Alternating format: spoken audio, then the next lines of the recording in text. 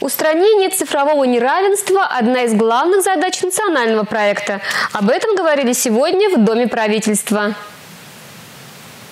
Речь идет о предоставлении услуг связи, основанных на современных технологиях. Реализует этот проект на территории республики специалисты регионального филиала Ростелекома. Он предполагает строительство в малых населенных пунктах узлов связи, оснащенных точками доступа Wi-Fi. 130 малых населенных пунктов республики получили возможность выхода в сеть. Для этого проложили более тысячи километров волоконно-оптических линий. Широкополосный интернет в точках доступа бесплатный. Уже там достаточно много сделано.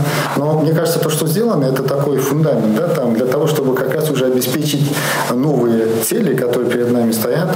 Причем эти новые цели как раз реально уже люди почувствуют. Потому что если до этого мы там инфраструктуру строили с вами, да, там, э, то есть оптику прокладывали, соответствующим образом обеспечивали там соединение населенных пунктов, а сейчас нам надо уже сами учреждения подключать к этим сетям, ну и, соответственно, пользоваться всеми современными сервисами.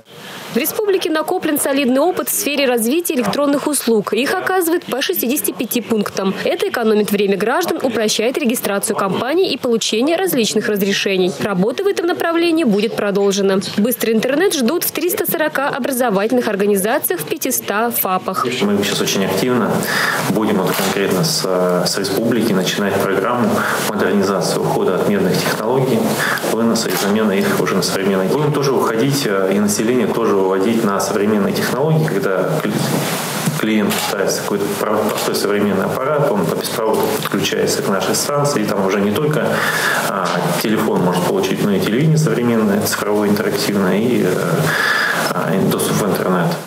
Тесное взаимодействие в этой важной сфере поможет быстрее достигнуть реальных результатов.